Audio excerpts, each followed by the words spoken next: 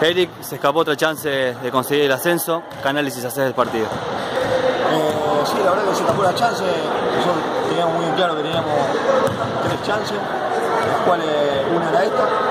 Una lástima haber dejado pasar esta oportunidad eh, cuando es local, pero no hicimos las cosas durante el partido. Eh, no defendimos como, nosotros estamos acostumbrados a defender y en ataque eh, teníamos opciones de gol y bueno se vio mostrado en el tanteador, hicimos 67 puntos y hicieron 8. Se nos notó muy tenso, sobre todo el primer tiempo, muchos errores, poca efectividad, como decías. ¿A qué se debe eso? Y tal vez sí, también un poco la, la ansiedad de, de, saber que este es un partido importante para nosotros y, y que está el campeonato del juego, también estamos muy ansiosos y no, no, no nos pudimos controlar y eso falta.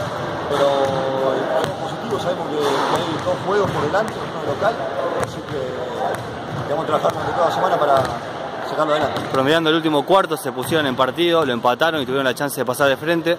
No se pudo y ahí parece que se quedaron sin energías para los finales, minutos finales. Sí, la verdad que sí, eh, ahí estamos jugando muy intenso, estamos intensos de arriba. Tuvimos con unas pelotas y nos pusimos iguales, pero hay que darle mérito a que, que, trabajó muy bien el juego, jugó muy pasivo, tiene jugadores de jerarquía y, y supieron meter los puntos en los momentos clave y nos quebraron. Ahora se viene Provincial, un rival que fue difícil la primera eh, ronda allá en cancha de Provincial. ¿Cómo van a manejar los nervios y la ansiedad que comentabas al principio? Sí, está demostrado que para nosotros todos los equipos fueron, fueron difíciles porque mostraron un montón de juegos ganados, ganamos juegos por dos puntos, tres puntos, un punto. Así que no, no, nosotros nunca subestimamos a, nadie y no lo vamos a hacer.